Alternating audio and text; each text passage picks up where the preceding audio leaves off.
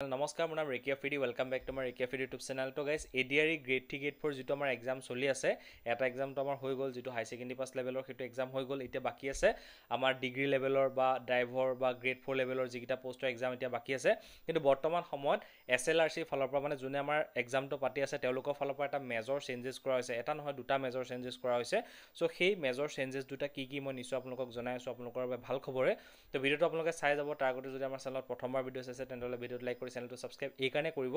কাৰণ যেতিয়া তেনেধৰণৰ ভিডিঅ' আপোনালোকক আগবঢ়াম তাৰ নটিফিকেশ্যনবোৰ তেতিয়া পাব যদি চেনেলটো ছাবস্ক্ৰাইব কৰি বেল আইকনটো প্ৰেছ কৰি ৰাখে। ঠিক আছে?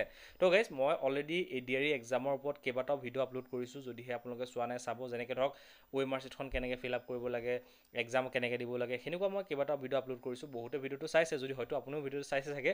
যদিহে চোৱা নাই তেতিয়াহে সেই ভিডিঅ'কেইটা আপোনালোকে চাব। বহুত বেছি আপোনালোকৰ বাবে হেল্পফুল হ'ব। ঠিক আছে? বাৰু এতিয়া যিটো আমাৰ আপডেট আহিছে সেইটো আমি কথা পাতোঁ। তাৰ আগতে যদি ভিডিঅ'টো লাইক কৰা নাই এটা লাইক কৰি দিওঁ মই আপোনালোকক দেখাই দিওঁ ইয়াতে আপোনালোকে দেখিবলৈ পাইছে। তো ইয়াতে বৰ্তমান সময়ত দুটা মেজৰ চেঞ্জেছ কৰা হৈছে আৰু সেই মেজৰ চেঞ্জেছ দুটা এইকাৰণে কৰিছে কাৰণ কিয় ইয়াৰ আগত যিটো আমাৰ এক্সাম হৈ গ'ল যিটো আমাৰ গ্ৰেড থ্ৰী লেভেলৰ হাই ছেকেণ্ডেৰী পাছৰ যিটো এক্সাম হৈছে সেই এক্সামত কেণ্ডিডেটবিলাকৰ বহুত বেছি প্ৰব্লেম হৈছে। যিহেতু আমাৰ এক্সামটো তিনি ঘণ্টা এক্সাম হৈছে। সেই তিনি ঘণ্টা এক্সামত যিহেতু আমাৰ ভিতৰলৈ একো বস্তু লৈ যাবলৈ দিয়া হোৱা নাই। পানী বটলটো পৰ্যন্ত লৈ যাব দিয়া হোৱা নাই। চ' সেইকাৰণে ল'ৰা ছোৱালীবিলাকৰ বহুত বেছি প্ৰব্লেম হৈছে। তিনি ঘণ্টা আমি এক্সাম দিবলগীয়া আছে। তাত আমাৰ পানীও সুবিধাটো সেনেকুৱা পোৱা নাই বা বহুতো প্ৰব্লেম হৈছে। আৰু কেণ্ডিডেটবিলাকৰ মাজত বহুতো কনফিউজনো আছে কুৱেশ্যন পেপাৰ লিক হৈছে এনেকুৱা বহুতো প্ৰব্লেম হৈ গৈছে। চ' সেইকাৰণে এতিয়া দুটা মেজৰ চেঞ্জেছ কৰিছে আৰু সেই চেঞ্জেছ দুটা কি কি জানেনে?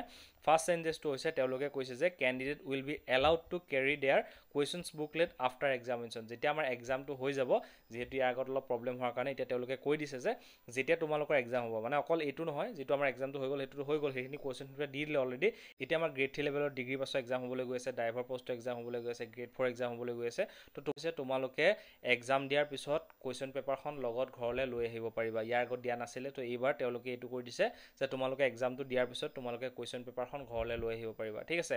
আৰু দুই নম্বৰ যিটো চেঞ্জেছ হৈছে সেইটো তেওঁলোকে কৈছে যে candidate will be allowed to carry transparent water bottle without level in to the examination hall center মানে তোমালোকে এক্সাম চেণ্টাৰলৈ এতিয়া তোমালোকে পানী বটলটো লগত লৈ যাব পাৰিবা।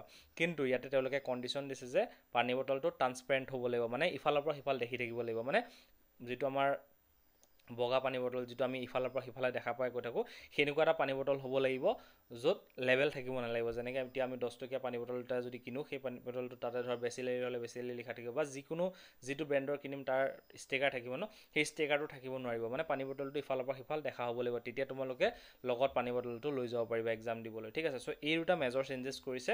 এটা হৈছে তোমালোকে এক্সাম দিয়াৰ পিছত তোমালোকে কুৱেশ্যন পেপাৰখিনি ঘৰলৈ লৈ আহিব পাৰিবা।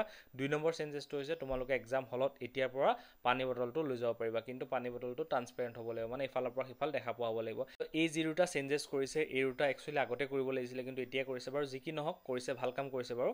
তো এতিয়া যদিহে আপোনালোকে এ ডি আৰ ই বা অসম পুলিচ বা আন আন পষ্টত যদিহে তোমালোকে এপ্লাই কৰিছা তাৰ বাবে আমাৰ টীমে কিছুমান নোট প্ৰিপেয়াৰ কৰিছে য'ত প্ৰতিটো ছাবজেক্টৰ বিষয়ে ডিটেইলি এখন এখন ই বুক আছে য'ত অসমীয়া আৰু ইংলিছ মাধ্যমত ধুনীয়াকৈ কনচেপ্ট ক্লিয়াৰ কৰি বুজোৱা আছে।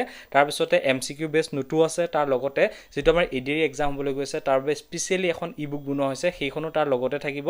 তাৰ লগতে টেষ্ট চিৰিজো এড কৰা হৈছে মানে যিটো এক্সাম হ'বলৈ গৈ আছে সেই এক্সামত কেনেকৈ প্ৰশ্নখন আহিব কেনেকুৱা কেনেকুৱা প্ৰশ্ন আহিব পাৰে সেনেকুৱাকৈ ষোল্লটা টেষ্ট চিৰিজ এড কৰা হৈছে সেই গোটেইকেইটা টেষ্ট চিৰিজ ইয়াতে এড কৰা হৈছে। এই গোটেইখিনি একলগ কৰি এটা ক'ৰ্চ হিচাপে তোমালোকক দিয়া হৈছে। বেলেগে অকল টেষ্ট চিৰিজটো চাৰিশ পাঁচশ তাত থাকি বেছিকৈও চেল কৰি আছে কিন্তু আমি এই গোটেইখিনি মানে ছাবজেক্ট ৱাইজ নোট প্ৰত্যেকটো ছাবজেক্টৰ এখন এখন e book A D R E book তাৰ লগতে টেষ্ট চিৰিজ সেই গোটেইখিনি মিলাই ফ'ৰ নাইণ্টি নাইনত কেৱল আপোনালোকক দি আছোঁ।